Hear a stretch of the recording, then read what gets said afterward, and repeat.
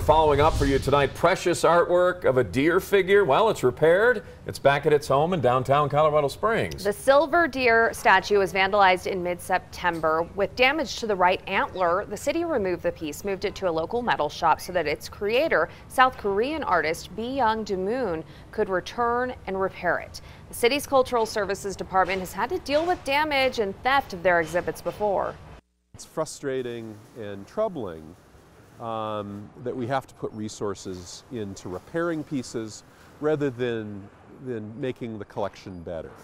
A police report was filed. Such a beautiful piece. The public, or the city, I should say, downtown partnership, asking everyone to help keep an eye on the 99 pieces of art in Colorado Springs.